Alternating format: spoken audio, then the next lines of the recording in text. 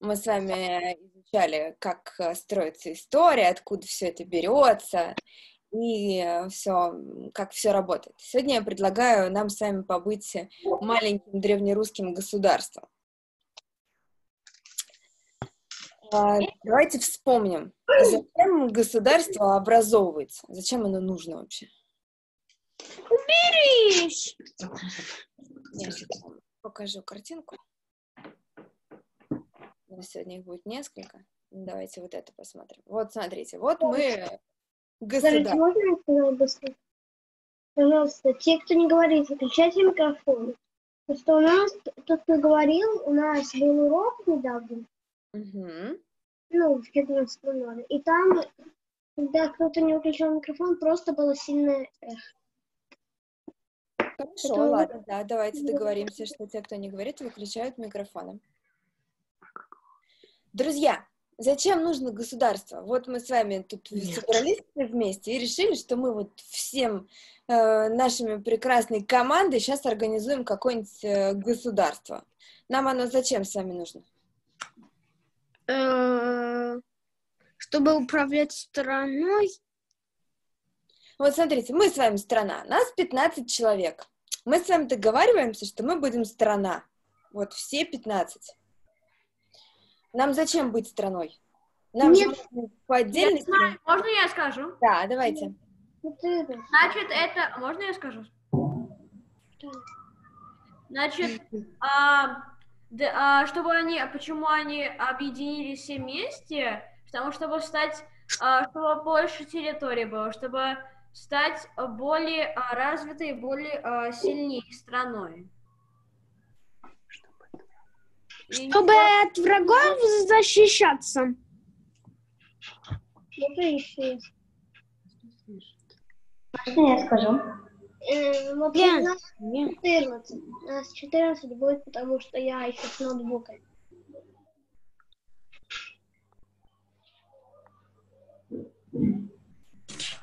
Можно я скажу? Яна, вас не слышно. Вас микрофон выключен. Все, Арина. Можно Да. я скажу? Сначала Арина, она давно-давно. Для того, чтобы для того, чтобы все объединились и было больше страна. Э, Я знаю, я, я, я. Давай, Алена. Да? Алена, правильно? Я говорю, как, вы- как вы подписаны, я с вами не так классно знакома. Ну, давай. ты говори. Это не подписано наше имя. Написано Алена, но это имя нашей мамы. Алена. А, Это Эльза, а я Гая. Все. Очень Вот. приятно с вами познакомиться. Вообще-то я хотела сказать, что это, что это, чтобы защищаться от врагов. Так, защищаться от врагов. Можно Согласна. я скажу? Чтобы быть больше, Настя. Да. Мне казалось, что организуют государство, чтобы объединить разные страны, разные города, чтобы они работали сообща, чтобы они могли между собой торговать, могли защищать от врагов, и их было бы больше. Так, вы хотите, чтобы нас было больше, чтобы у нас была большая территория, чтобы мы защищались от врагов, чтобы мы все м, торговали вместе. Слушайте, ну да, уже вполне себе достаточно для государства. А какие-нибудь э, у нас, может быть, военные цели какие-нибудь? Да. Завоевывать. Да, Да, давайте. есть, например, можно заво- за- если, а, если, если объединиться, можно стать, например, а, более сильнее и завоевывать другие страны или а, защищаться. Делать. Зачем нам другие страны? Ну, я согласна с тем, что вы говорите. Было больше, Ну, да. что было больше территории и больше ресурсов. Да, нам нужны больше ресурсы. Какие у нас с вами есть ресурсы? Вот смотрите, у нас э, здесь э, пока древнерусское государство такое еще, ну вот у нас э, с 862 года по 900 где-то 20 вот здесь Новгород, здесь Киев, здесь всякие племена, Смоленск, Ростов. Там какие у нас ресурсы будут? Да. Новгород. Нефть, нефть может быть. Подождите, мы еще, мы еще очень древние, мы еще только образовались с вами, мы такие... Дерево, дерево, камень. Да, Железо. Железо. Железо. Руды, руды. так, еще. Еда, рыба. мясо. Рыба, еда, мясо, так. Иха. Молоко. А, молоко, Хлеб. Лошади.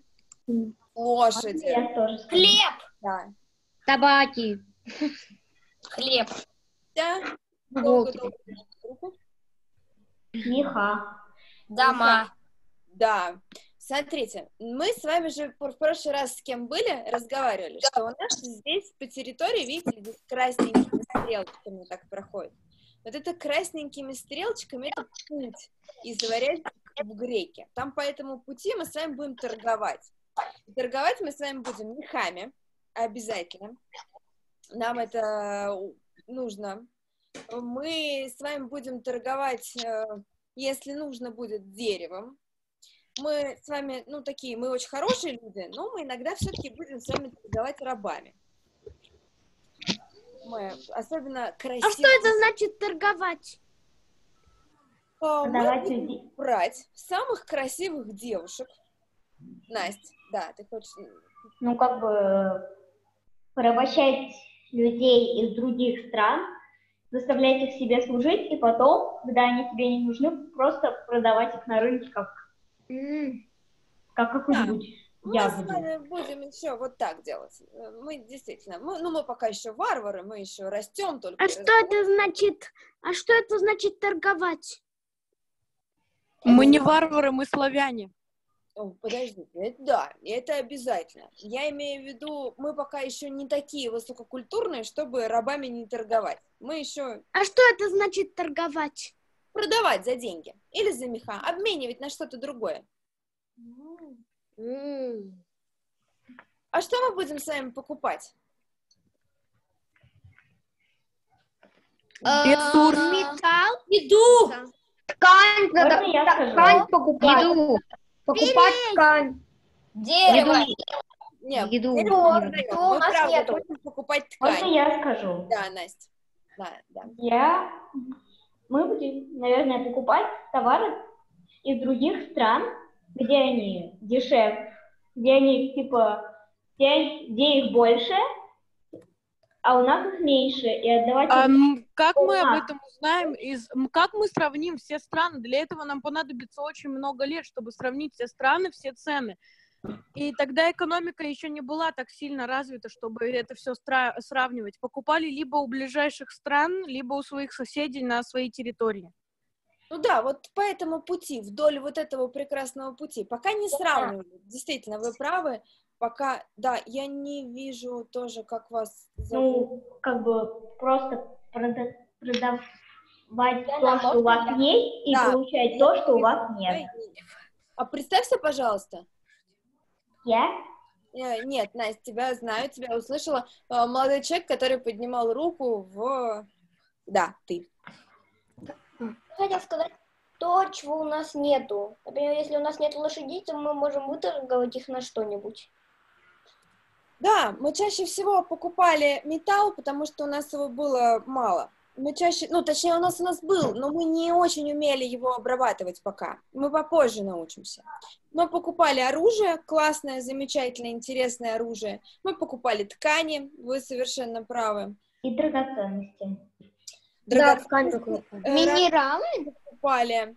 А, Минералы пока не покупали, мы не знали, что с ними делать. Мы иногда покупали украшения, всякие драгоценные штуки, которые нам были нужны. Вот это все мы классно покупали. Все, здорово. А, Организовали мы с вами государство, мы поняли, что нам нужны ресурсы, мы поняли, что мы будем защищаться вместе, мы поняли, э, что мы будем эти ресурсы как-то добывать. А как мы с вами будем эти ресурсы добывать? Мы же раз покупаем, нам э, нужно еще продавать. Мы с едой, пока сейчас вы пишете много про еду и про овощи, мы на самом деле пока не покупали еду и овощи, потому что их очень сложно было перевозить ну, представляете себе, что у меня лодка вот из Киева в Новгород а, плывет большое количество дней. У меня все там испортится, что я себе купил. Поэтому с едой пока было очень э, свое ели, то, что вырастили сами. Можно я скажу? Да, Настя. Мне кажется, что чтобы, например, получить меха, Так. Ну, а если еду повезти и в нашу страну в холодильнике? Пока не было. Пока холодильника не было. Пока очень... можно было, А, мо- можно было да, в я нижнем, можно было в нижней каюте где-нибудь Вы очень немного снега. про наших э, не э, было, тогда. А? не было. Что вы говорите? Если, получается, холодильника там не было, значит, и машин не было. Ни- пока ничего нет. У нас есть только вот эта вот река, которая обозначена красными стрелочками, и лодки. Причем сейчас я вам попробую показать, какие у нас были лодки. Не было никаких машин, потому что именно, потому что это как вот 2000 лет назад. Россия, российская... Э, Ну, это не две, не две тысячи лет назад, это смотрите. Это вот мы сейчас с вами говорим про вот этот период. 862 год, 879. Давайте вообще представим, что там было, чтобы мы так э, сориентировались. Там уже же довольно было развито. Это, это же перед крещением Руси было. Перед крещением. лет. Ну, сто лет это очень прилично. Что было? Что было у нас? Были города и села. Были города и Был села, скот. были. Мгм. Был скот, Скот. Были князья. Князья, сейчас тоже про них поговорим. Были Из технических всяких сооружений что было? Вот э, лодки у нас. Мельница. Деревня. Деревня. деревня была, Деревня это не сооружение отдельное. Оружие. оружие. было. Оружие тоже не сооружение. Давайте так, Тогда уже были крепости, крепости были, пока еще, ну, у нас больше катапульты, катапульты деревянные. Кареты. Карет еще не было. Я. Замок, замков еще таких не было. Были большие дома двухэтажные, но замков пока не было. Да. э, я, та девушка, которая- Раньше ничего не было. Ну, не, не, не- не ничего. Было просто мало. Да, раньше было мало, раньше была скука. Сейчас мы узнаем, что нам было достаточно весело. Арина, Вы- да. поднимай. Я знаю, есть такое Постоянно- место, там э, целые дворцы из дерева, там даже гвозди из дерева. Да, э, есть такое. Смотрите, друзья, все, сориентировались. Пока нет ни холодильников, ни машин, ничего. с- Еду очень сложно перевозить, ничего не знаем. Перевозим меха, перевозим оружие, перевозим руду, э, со всеми торгуемся. Теперь у меня к вам вопрос. Если мы что-то хотим продать, нам это же нужно где-то взять с вами? Мы это с Например, можно... Можно я скажу? Да, Настя. Ну, например, чтобы получить меха, и потом ими торговать, они шли в лес, и там охотились на каких-то пушных зверей, лис, там, медведей, и потом они снимали себе шкуры и Так, это один вариант. А где еще можем взять меха? Да, согласна, были. еще их можно купить, ой, еще их можно Убить выставить- животного и съесть с него шерсть. Убить животного можно, можно снять шерсть, убить животное, все. А можно еще где-то взять? Можно. Где? Купить. Можно открыть овцу. Вот все, что с убить животным, пока оставим. Это мы все поняли. Э, Можно с- просто побрить овцу, не убивать. Забыть, э, хорошо. Оставить, согласна. Купить, подождите, мы продавать это планируем. Нам нужно где-то это еще взять. Мы на самом деле были э, ребятами очень классными. Да, и сейчас. Э, девушка или фиолет. Ребят, мы с вами обладали дружиной. Знаете, что такое дружина? Дружина это как армия. Войском. У каждого, да, у каждого князя была дружина. И мы, вот видите, у нас наша страна с вами оранжевая, а рядом такие посветлее есть. Вот Здесь скажу? Отодвигаем. да. Они могли завоевать другую страну и у ее жителей забрать их уже готовые меха. Мы не хотели их завоевывать, потому что видите, какая интересная история получается. Если мы кого-нибудь завоевываем, нам И надо Они как-то это платить дань. уде- удерживать. Соседи могли, Если более мы- слабые соседи могли более сильным странам могли платить дань, чтобы они их защищали. За это. Вот мы и собирали дань. Мы ходили и собирали дань со всех э, вот этих вот близлежащих племен. А через 450 лет собирали дань уже с нас. Ну, это Да. да. это будет попозже. Подождите, мы еще только, у нас только основание, мы только начинаем. Слушайте, а как вот э, заставить других людей платить нам дань? А. А, Пугать их, такое запугать. время, э, это был способ угроз того, что мы нападем. Да, говорили, Можно я кое-что скажу? Да. Кого платить? Кого платить? Можно я скажу? да, Настя, Настя, давай.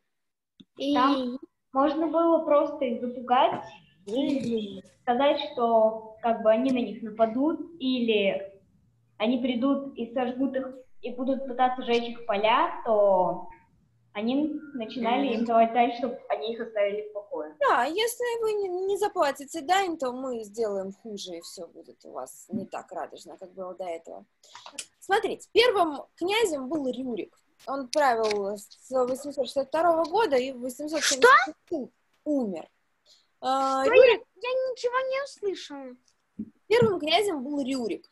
правил в 862 году, в 879 умер. Сначала княжил в Ладоге, старая Ладога, я его вам в прошлый раз показывала.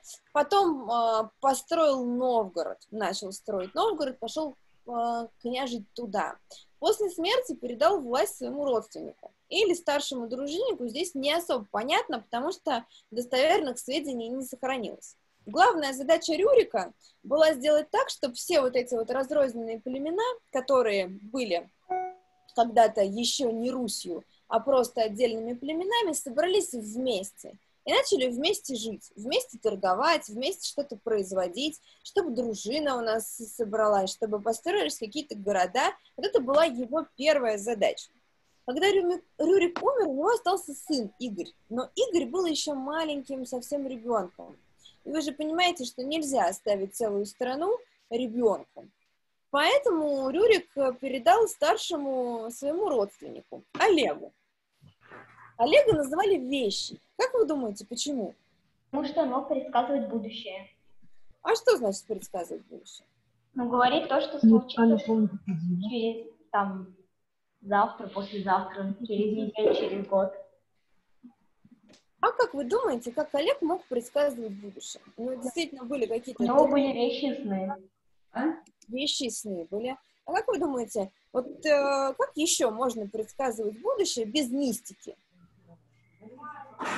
А что сейчас происходит в настоящем, и, соответственно, делать выводы, что будет, ну, как будет влиять настоящее на будущее. Да, Как Шерлок Холмс или как в шахматах, можно подумать, что я делаю сейчас, какие варианты возможны, какие варианты нереальны, и, и, значит, извлечь примерное решение. Да, Олег э, был не просто, там вещи и сны у него, наверное, были, здесь мы точно с вами не, не можем сказать, но мы не следили. А вот э, за то, что он был очень умный и хитрый, его вещем все называли. Как мы понимаем с вами, что он был очень умный и хитрый? Ну, э, сначала он вот действительно собрал целую большую дружину и э, решил, что он поедет завоевывать другие русские города. Сначала, видите, когда только пришел э, Рюрик, у нас... Я закрыла нашу картинку. Сейчас я вам это покажу. У нас сначала было только вот это вот маленькое оранжевенькое э, пятнышко. Там был Новгород. Мы не видим. А, так, сейчас, сейчас покажу еще раз. Вот, так видно? Вот, смотрите, сначала было маленькое оранжевенькое пятнышко, только Ладога и Новгород. А Рюрик только здесь правил. Когда пришел к власти Олег, Рюрик умер, Олег стал новым князем, он решил, что нужно расширить территорию. Он сел на ладьи, собрал войско, поплыл по вот этим рекам, доплыл до города Киева.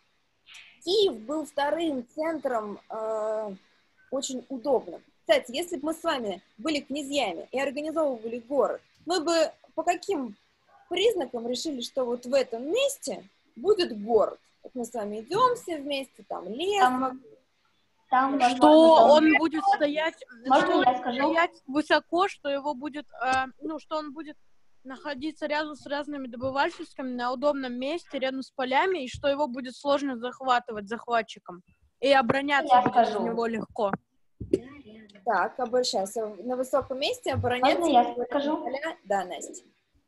Мне кажется, что город строили в плодородном месте, где рядом был лес, где можно доб- добывать зверей и дерево. Где рядом, например, была какая-нибудь скала, где можно защищи- защититься, из которой можно там стрелять. И место где-нибудь на возвышении и очищенное, чтобы туда попадал дождь. Так, И мне еще кажется, чтобы хорошо. А еще ну, что-нибудь? хотя бы две речки было, ну вот, реки. Ну, хотя бы одна. Хотя бы Ну да. одна. Пока мы с вами выяснили, что у нас пока машин нет, ничего нет, нам нужно как-то передвигаться, а по реке передвигаться удобнее всего, потому что в лодку можно погрузить э, большие грузы. А Киев, смотрите, какой классный город, он стоит на пересечении целых трех рек. У него есть большая река Днепр, у него есть река поменьше Десна, и у него еще есть река поменьше Припять. И все соединяются рядом с Киевом. Поэтому Олегу этот город, ну, прям очень был нужен. Но вы же умные, и люди, которые строили Киев, тоже умные. Они же его построили, все, как вы сказали, на пересечении рек, на возвышенности, чтобы было не захватить, э, огородили стеной, и Олегу будет очень сложно. Как вы думаете, что бы, или подумайте, что бы вы сделали? Вот перед вами город, его захватить очень сложно, он на возвышенности, вокруг стена. Я Хитростью. У вас пробраться как-нибудь, притвориться, что как бы я, я просто человек, я не царь, я ничего не сделаю. Так, Арина, у тебя какие есть э, И как бы что как-нибудь проникнуть внутрь, а потом открыть ворота, и тогда воины зайдут и начнется Надо либо делать подкоп, подкоп, либо... Всего лишь три человека. Поэтому а, тема сегодня не начало войны, а может быть тебе это пригодится для м, того, чтобы сдавать историю. А, Так, сейчас мы... Да, да, Арин, по- подкоп ты предлагаешь сделать? А как, вы представляете, если мы сейчас начнем делать подкоп, нас, наверное, увидят. Не, мне кажется, что думаю, если Это еще очень долго будет. Это очень долго Можно, будет. можно можно Тогда думаю, тогда думаю, топором можно пробить забор. Можно сказать. Можно туда э, торговым караваном, а потом изнутри захватить. Можно попробовать затопить, тогда, тогда они не Можно смогут. сказать, Пожалуйста. Да, Оль, А как ты затопишь, если город находится на возвышенности? сейчас. Не сам город затопить, а окрестности. Можно, пожалуйста, Да. А, у нас А, Оля я вот- хочет э, Я, э, я сказать. думаю, я Давайте. думаю, если город спит, охранники, если они уснули, пройтись и пожар сделать там. Мне кажется, можно... Тоже я неплохая скажу? Можно я скажу? Мне кажется, что вокруг города можно развести костры с зелеными листьями, чтобы они сильно дымили, и чтобы в городе стало очень плохо, потому что дым поднимается вверх, и на возвышенности станет очень плохо, тогда они пойдут вниз. И можно будет... Мне кажется, не догадались бы до этого просто тогда. Ну, вы были бы самыми классными князьями. Я вам точно скажу, что князьями вы были бы э, здоровскими. Что они любили? Они на самом деле действительно придумали... Они что любили? Э, Вика, да, ты что-то хотела еще сказать? А, можно заключиться союз и вместе править. Это, если они хотят с нами вместе править, да. Они, Олег с некоторыми так и делал. Но Киев вместе с нами править не хотел, поэтому Олег э, выбрал один из, одно из ваших предложений. Он э, прикинулся к торговцем. Он прикинулся с купцом, сказал, что он, в общем-то, приехал с товарами и сказал, что будет а Киевом тогда правили два князя, Аскольд и Дир. И говорит, слушайте, у меня такие ценные товары, вот прям самые ценные, какие только могут быть. Я их э, готов показать э, вашим князьям. А Князья Аскольд и Дир вышли, а, а, э, прибежала дружина Олега и убили этих князей. Причем у Олега было основание. Он говорит, ну, вы же, у нас вроде как одна страна должна быть, у вас не княжеский род, вы к Рюрику никакого отношения не имеете а я вот его ближайший родственник. После меня его сыну все, вся страна достанется. Поэтому, в общем, прав у вас на княжне нет, и теперь князем буду я. Олег посмотрел, что Киев, э, он красивее, больше, место расположения у него лучше, чем у Новгорода, и перенес э, столицу в Киев. И с э, 882 года столицей Руси стал Киев. А вот эта вся территория, которая у нас ярко-оранжевым отмечена и э, граница оранжевая, она стала называться древнерусское государство. Поэтому Олег считается первым русским князем, объединившим земли и построившим государство. Ну, смотрите, вот мы с вами объединили земли, все вместе живем классно, мы построили государство. Какие у нас дела возникают? Нам что с вами нужно делать? Надо защищать государство. Если кто-то нападает, надо защищать. Еще. Надо понимать эк- эк- экономику. Так, нужно понимать экономику. И потом еще отвоевывать землю. На одном месте стоишь и, и Так. Становится мало, потому что люди же растут и... Так, нужно понимать экономику, нужно занимать новое место. И еще что нужно сделать?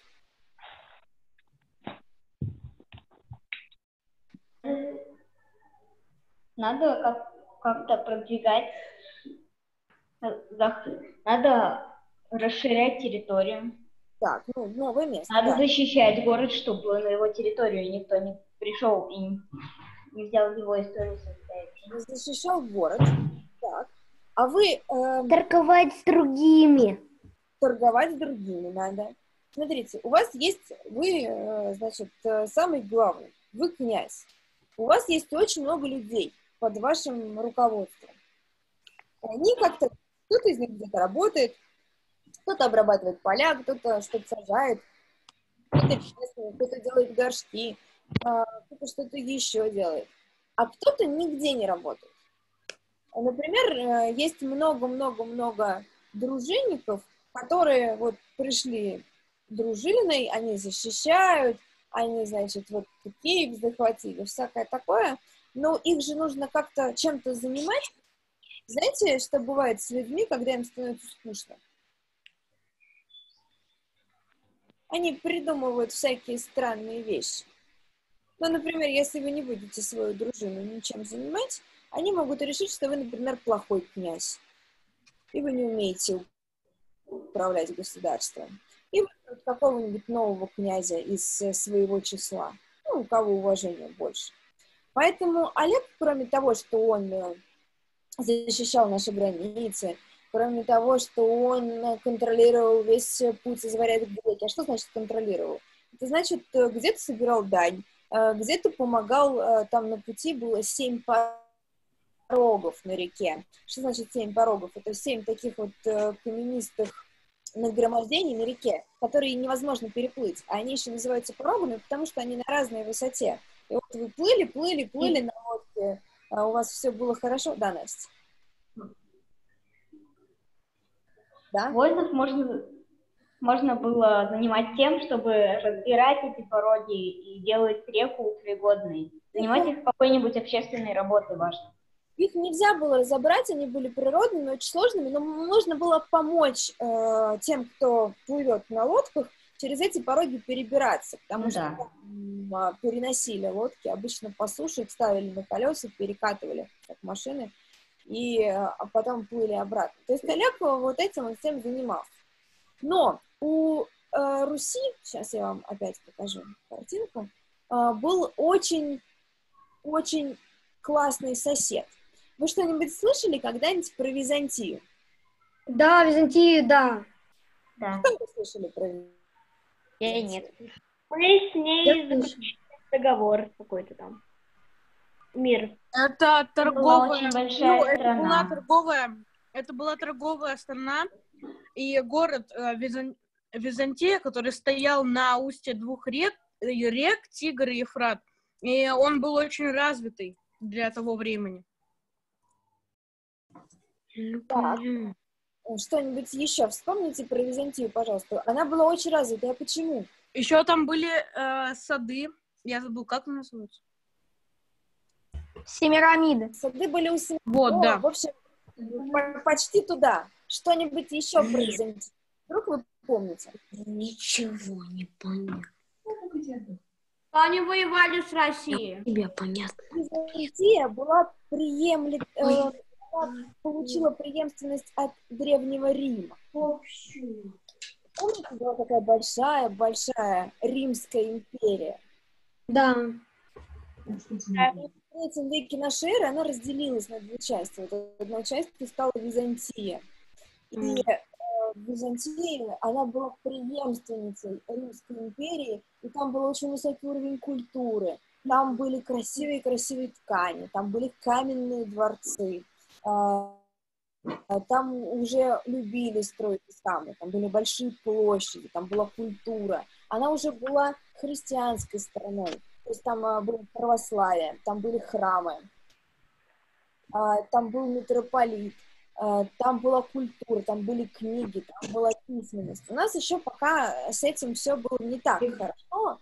Мы с вами в следующее воскресенье поговорим про религию, какая, которая у нас была, про богов, про разных, кого мы верили, как мы жили, что у нас было да, в домах внутри. А вот у Византии, в общем, все было на уровень повыше, чем у нас. Это была очень богатая страна. И Олегу хотелось, чтобы Византия нам тоже платила дань. Что? Как как можно сделать, чтобы Византия нам платила дань? Потому что, в отличие от Киева, Византия уже каменная, она уже развитая, она далеко от нас, она вот, вот здесь вот находится. Ну, как всегда, обманом взять. А, Он взял здесь не обманом сначала, а числом. Он э, собрал аж две тысячи судов, на каждом из судов было по 40 человек. Получилось 80 тысяч воинов. И он со всем этим огромным войском пришел на Царьград. Царьград — это русское название Константинополя, столицы Византии. Он сказал, что если, в общем, дань не заплатят, то наши суда проведут осаду и заморят всю Византию голодом. На тот момент э, император Византии подумал, подумал решил, что ладно, лучше подписать договор, чтобы больше с этим не сталкиваться, чтобы, в общем, не воевать с Россией. Нам важно было не просто, чтобы нам дали какие-то меха или ткани, или драгоценные камни, нам это и все так дали. нам было важно, чтобы мы могли с Византией торговать без пошлин. Знаете, что такое пошлина? Это как определенный налог, да. Налог. Если я приезжаю торговать в ваш город, и вы говорите, слушайте, я, ну хорошо, торгую в моем городе, но э, одну десятую часть тех денег, которые ты получишь, ты будешь отдавать мне. А я же еще потратила много средств на то, чтобы до вас добраться, и мне вообще не очень выгодно одну десятую часть отдавать мне. Поэтому в 907 году Олег подписал очень выгодный договор, чтобы мы торговали без пошлин. И, в общем-то, 4 года, до 911 года мы жили очень неплохо. А, опять же, съездили, показывали свою дружину разным другим племенам, которые нас окружали, собирали с них дань, защищали государство, строили города, в общем, развивались как могли. В 911 году Олег решил, что нам нужно еще раз съездить к Византии и опять попросить у них э, дорогих тканей, дорогих камней и новый договор перед подписать. Но Византия, она же тоже была не глупой страной. Они уже подготовились к нашему приезду, и договор, конечно, с нами подписали. Несколько сражений там было, но договор был не такой выгодный для нас. Мы уже не беспошлино торговали, нам уже нужно было платить пошлину, но не такую, в общем, э, большую, как обычно. Еще у меня к вам вопрос. Вот вы князь, вы правите. Какими качествами, как вы думаете, вы должны обладать, чтобы вас все слушались? Смелостью, справедливостью. Да. Мудростью. Мудростью. Справедливством. Мудрость, расчетливость. Расчетливость, справедливость, да. Да. А зачем вам справедливость и мудрость? Ну, чтобы народ не был против, что ты правишь. Ну, э, народ же... А зачем народ к князю приходит, кроме того, чтобы там защита и всякое такое? Чтобы просить каких-нибудь средств, когда голод, то они просят там продукты какие-то, хлеб. Качество жизни, чтобы улучшить. Народ рассчитывает на помощь на какую-то. Так, а еще? Вы Они- заметили? Ну, Они просят, чтобы он их защитил специально. чтобы защитил. Вы заметили, что мы пока очень молодое государство? Да. На, на решение споров. Да, на решение споров. Вы пока заметили, что у нас очень молодое государство, и у нас пока не особо хорошо с законами. Мы еще пока никаких таких законов не придумали. У нас законы будут э, введены значительно позже. Поэтому, если что-то случается, если кто-то кого-то убил, или кто-то у кого-то что-то украл, или кто-то не поделил плодородные земли, то нужен суд, нужно какой-то суд провести, и приходят к князю. И князь э, судит. Если князя нет на месте, то он оставляет наместника, человека, который эти все вопросы будет решать в городах. Непосредственно князь же в Киеве сидит, а у нас страна большая, есть другие города. Поэтому князь, в общем-то, он должен еще обладать правом мудростью и справедливостью. А еще вы знаете, э, что князю нужна какая-то определенная реклама. Или можно современным красивым словом назвать пиар. Как вы думаете, зачем князю нужна реклама или пиар? Чтобы о нем все знали. Зачем ему это нужно?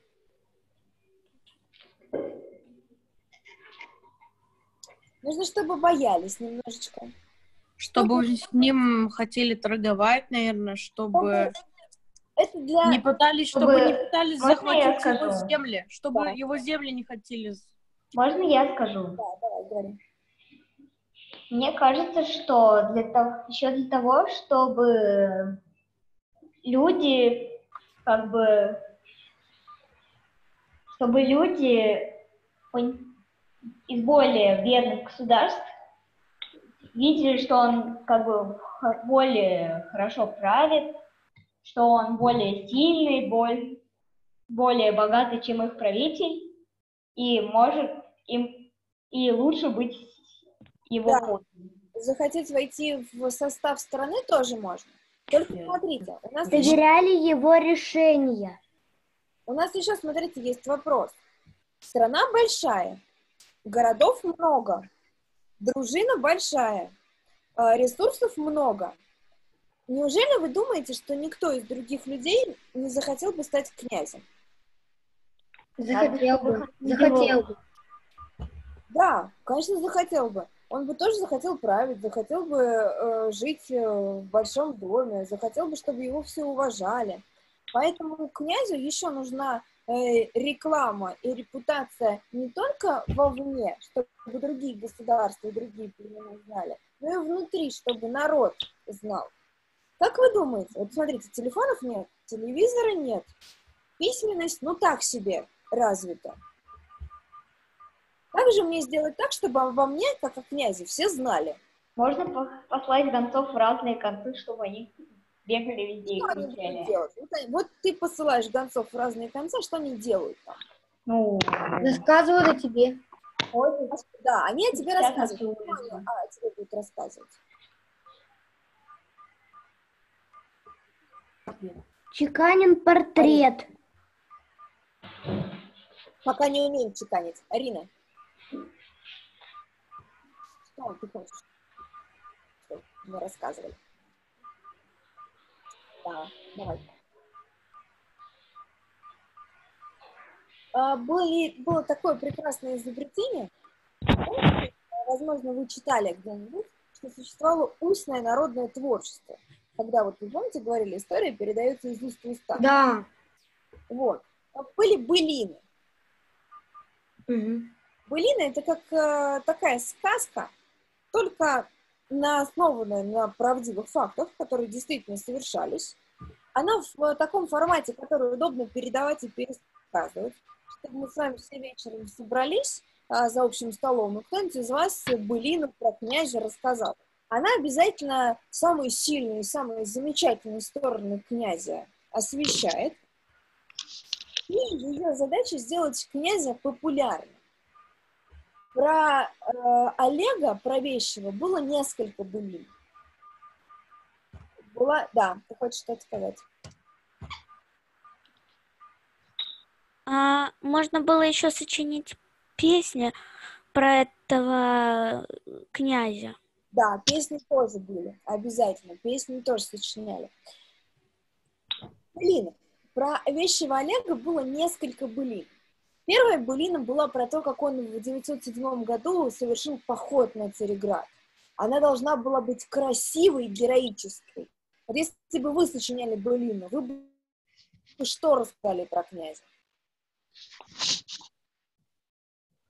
Вы бы вот эти все качества, вот, Что он которые- там, ну, что он со своим огромным войском только, ну, что он только словами смог захватить Константинополь. Да, вы бы сказали, что войско огромное, чтобы никто не захотел посягнуть. Вы бы сказали, что только словами, потому что вот он такой мудрый, такой хитрый, такой замечательный, что его все слушаются только словами. А, Вы бы еще сказали, наверное... Кто такой мудрый, кто такой хитрый? Что вы говорите? А кто такой мудрый и кто такой хитрый? Мудрый — это тот, кто умеет как будто бы видеть на несколько шагов вперед. Ну, то есть вот он представляет, например, тот же самый эм, поход в 907 году. Вот можно пойти и просто забрать много-много-много золота э, в Цареграде, в Византии. Забрать себе и все. А можно сделать То так... есть имеете в виду ца- царя вы имели в виду? Да, ну, Олега, да, князь.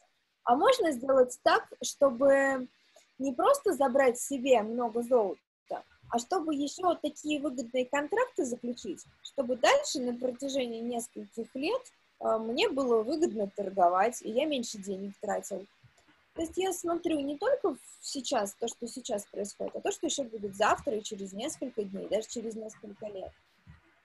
Мудрость выбирает, с кем дружить, а с кем не дружить. Кого присоединять в состав страны, кого не присоединять. Какой город сделать столицей. И еще много-много-много таких вот вопросов решает.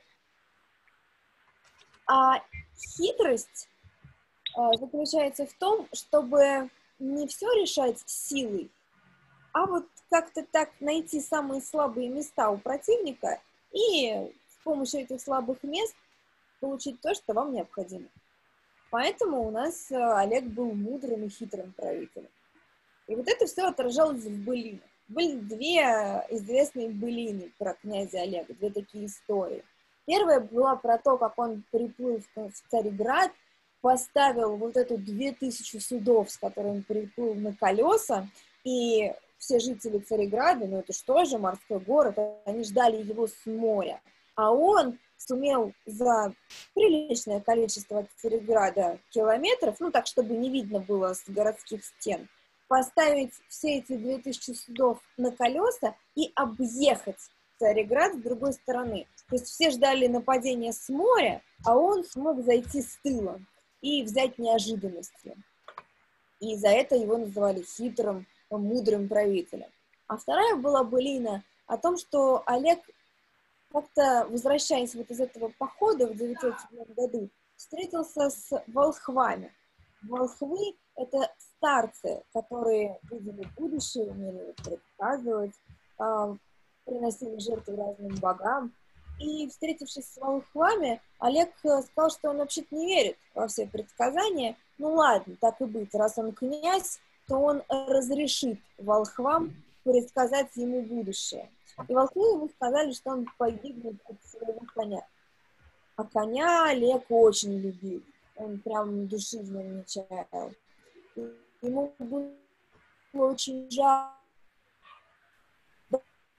Ну, когда говорят, что вы, может быть, э, с лошади, ну, от коня погибнете, Олег, конечно, подумал, что он с коня упадет сломает себе что-нибудь или шею, может быть, и не А можно я расскажу, как Поэтому... он погиб от коня? Да. Давай. Ну, в общем, ну, в общем, конь умер, и Олег забыл про это предсказание. Когда он, ну, о, ну, он его похоронил, потом он э, однажды приходил к своему коню уже на старости и смотрел на его скелет, из э, черепа коня выползла змея и задушила его у, укусила. Да, она укусила. Это была очень ядовитая змея. И Олег умер от этого. А можно я скажу? Да. А кого укусила? Олега. Олега? Понятно. И в итоге в 912 году вот этой истории Олег умер. И на место правителя Руси стал Игорь. Помните, Игорь — это сын Рюрика когда Рюрик умер, Игорь был слишком маленьким, поэтому... Можно я скажу? Да, давай. Кого, чей сын Игорь был, чьим сыном? Рюрика, самого первого нашего... Да, что ты хотела сказать?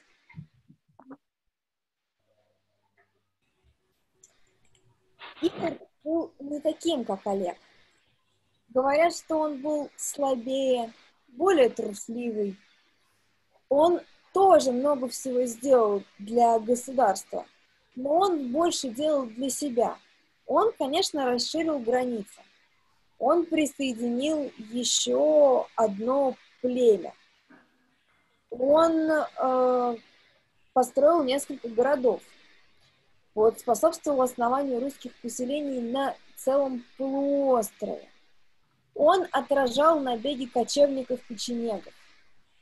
Он организовывал военные походы против Византии, но он организовывал военные походы, потому что слава Олега не давала ему покоя. Ему очень хотелось быть таким же, как Олег, таким же мудрым, таким же воинственным, таким же классным. Но у него не всегда получалось.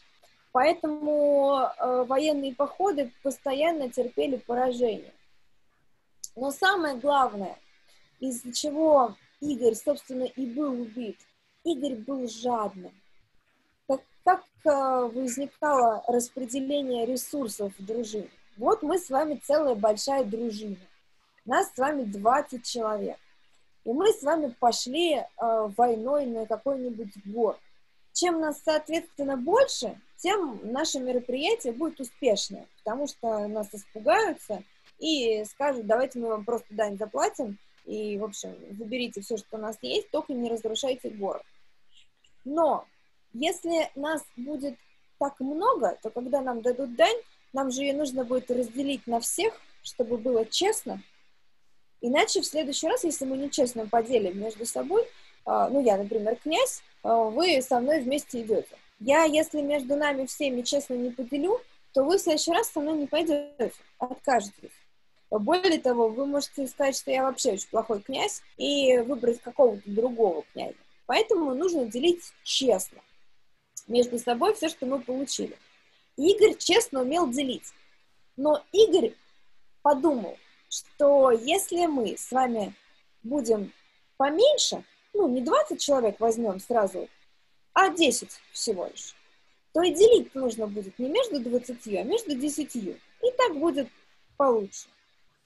И Игорь уж очень хотел получить дань с древлян. Древляне — это племя, которое жило на границах э, с Русью. И Игорь пришел туда первый раз с большой дружиной, получил много дани, был доволен. Можно я скажу? Да, давай. А что такое дружина? Дружина — это как будто армия. Полк, солдат. Да, полк солдат. Понятно. Он пришел с большой армией, сначала с большой дружиной. А, древляне испугались, отдали ему дань. Прошло немного времени, может быть, несколько месяцев. Игорь решил, что этой дани мало, и опять пошел к древлянам. Собрал маленькую уже дружину, ну, чтобы не делить дань. И с маленькой дружиной пришел. Но древляне тоже были не самыми глупыми, поэтому они сказали, что если Игорь уже так делает несколько раз, то есть постоянно приходит задание, он будет приходить заданию снова и снова, снова и снова. И что это не тот человек, с кем нужно заключать договор. Тем более они увидели, что он в этот раз пришел с маленькой дружиной. Игорь был убит этим племенем. Причем, а почему он был убит? А, потому что он несправедливо вел политику. Ну, представьте себе, я представитель другого государства, вы целое племя. Вы, значит, ходите в лес, убиваете там животных, забираете шкуры, что-то строите, делаете всякие горшки, добываете драгоценные камни, и все это делаете собственным трудом. Вы трудитесь для этого. Я к вам прихожу с кучей людей, Говорю, а теперь, ребята, вы мне часть этого отдадите. Вы говорите, а почему это мы должны вам отдавать, а, если, собственно, мы это все честно заработали? Я говорю, ничего не знаю. Если не отдадите, я все ваши дома сожгу, всех родственников э, заберу себе в рабы, и, в общем, все. И только на основании того, что за мной огромная армия людей. Это и как бы, получается, это подлость или хитрость? А это такое способ ведения политики. Вы говорите, ну ладно, давайте договариваться. Давайте мы вот вам не все отдадим, а только какую-то часть. Но подпишем договор, что вы к нам целый год не приходите. Согласны? Согласны. Все. Договор подписали. А я к вам прихожу не через год, а через полгода. Опять говорю, слушайте, ну, как бы у меня закончилось все, что вы мне дали, Поэтому давайте еще раз. Но я думаю, что вы возмутитесь и не захотите больше со мной иметь никаких дел. Вот и древляне тоже очень возмутились. И не захотели больше иметь с Игорем никаких дел. Только Игорь уже был недоговороспособный. Если он один раз нарушил договор, сказал, вернется через год, а вернулся только через полгода, сказал, больше не будет брать дань, а вернулся заданию опять, то, в общем, он был таким жестоким способом наказан. Мы с вами в следующий раз поговорим про то, как жили люди, чтобы вам было понятно, а, как это все происходило. Вы пишете, что вы бы умерли там без интернета. А как вы думаете, чем бы вы там занимались? Где? Там, а, где нет а, мы бы, мы бы а, большинство бы людей были бы именно а, ну, как обычно, как крестьянам только не, а, по то время еще не а, было а, кре- а, не крещение, не было, еще не было крещения России, но как крестьяне большинство жителей было, которые, например, то, пос- а, то а, а, делали а, урожай, там много чего. Да, давайте, м, прости, пожалуйста, я тебя перебью. А, давайте определимся. У нас есть. И Это те, кто поклоняется Христу. Это зависит от религии. А есть христиане, те, кто на буковку К и пишется по-другому. Это те, кто работает в поле и э, возделывает э, поля, занимается земледелием. Поэтому ты совершенно прав, мы бы, большинство из нас были христианами. Да, а вы еще кто-то что-то хотел сказать?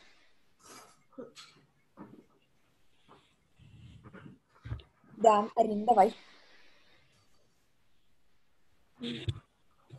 Я думаю, если бы были, если бы там были дети, они бы, если девочки, они могли взять солому и связать их какой-нибудь, каким-нибудь прутиком, и получилась бы кукла. А мальчикам что делать? Ну, всякие из деревяшек домики строить. Я сейчас вам расскажу э, такую очень необычную вещь.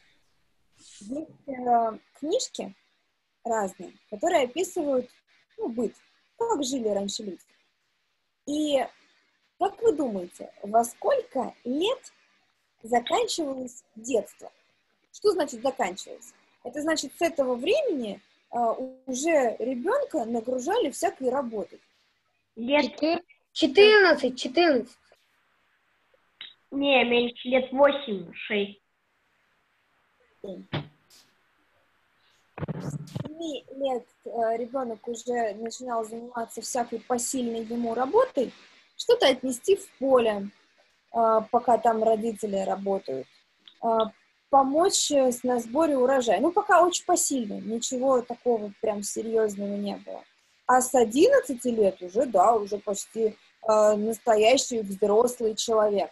Его еще называли, когда ребенку исполнилось 11 лет, его называли отроком, это означало, что он уже почти взрослый член общества, только еще голоса не имеет, то есть не может голосовать, там, выбирать князя и так далее. Ну, в общем, с 7 лет потихонечку, а с 11 уже так здорово, мы бы все сами пошли на работу.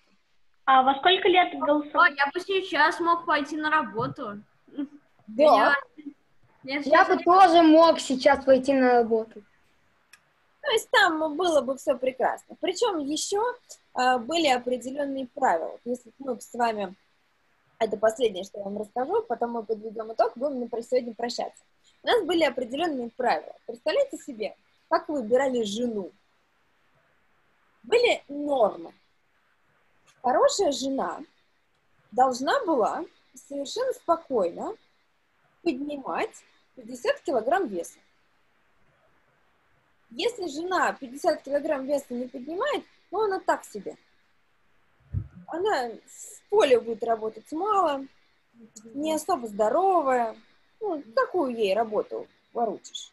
А здоровым ребенком, вот 11-летним, считался тот, кто совершенно спокойно может поднимать 20 килограмм веса. Все у него должно было быть хорошо в этом плане. То есть да, нам бы с вами без интернета там, конечно, было бы скучно. Но наши соплеменники и граждане нашей страны нашли бы чем нас занять. Мы бы там отлично проводили время. А как вы думаете, э, как бы мы развлекались, как бы мы отдыхали? Праздники, пиры какие Прыгали через костер. Прыгали бы через костер летом. Так, какие-нибудь праздники. Да. Давай. Купались лет. Еще Купались. такая карусель есть такая с ленточками. Карусель. Да, я вижу руку, я не, не подписана. Да, давай. Еще можно на праздниках эм, найти, можно еще играть э, Ну, там можно привязать веревку к дереву и крутить ее, и прыгать, как через скакалку. Можно. Вообще было много всяких... Пели игр. песни, водили, водили хоровод. Да, а зимой мы бы как сами отдыхали, да. Можно лазать по деревьям. Ну, отлично. Ангела. Такая игра старая, берешь, берешь палочку, на палец один ставишь, и там какой-то стишок говорится, и потом все считают, например, один, два, три, четыре, и столько типа дня до вечера осталось. Вечер называется вроде игра. Угу. Настя. Мне кажется, что там дети уже лепили снежные бабы, уже, уже играли со снегом, что-то из него лепили и так далее. А, в общем, в следующий раз мы с вами обсудим лепили. Все, было еще больше всяких а, увлечений интересных. Мы с вами обязательно поговорим. Давайте какой-то итог подведем. Мы обсудили с вами два момента. Мы обсудили, зачем нужно было государство, как оно образовалось. И мы с вами обсудили э, трех первых князей, которые были. Первым был Рюрик. Его мы позвали, мы говорили об этом в прошлый раз. То есть много племен, объединившись между собой, позвали Рюрика править. Рюрик правил э, с 862 года по 879. 862 это, да, чего ты хочешь сказать? А когда в следующий раз будет занятие? Да, а когда в следующий раз занятие? В следующий раз будет в следующее воскресенье. О, У меня есть вопрос. Да. Значит, а, а вы только про князей будете говорить, про Рюриковичей, а, про Рюриков, а, а вот про Романов вы будете? Конечно, идем, ну, Прям всю историю России будете. Ну, насколько нас всех хватит. Ну, вообще, да. Нас здесь интересует э, еще все. А, тогда хорошо. А сколько у нас вообще занятий? Все лето будут занятия? Я думаю, да. Мы там где-нибудь с вами возьмем перерыв на две недельки. Друзья, в общем, последний итог. У нас был Рюрик. А, 862 год — это дата основания нашего государства России. А, В 879 он умер. На смену ему пришел Олег. Олег был его родственником. И Олег считается первым настоящим русским князем, который объединил между собой Новгород, где правил Рюрик, и Киев, сделал Киев столицей. А Олег э, построил прекрасную политику. Да, да, да, да, солнышко.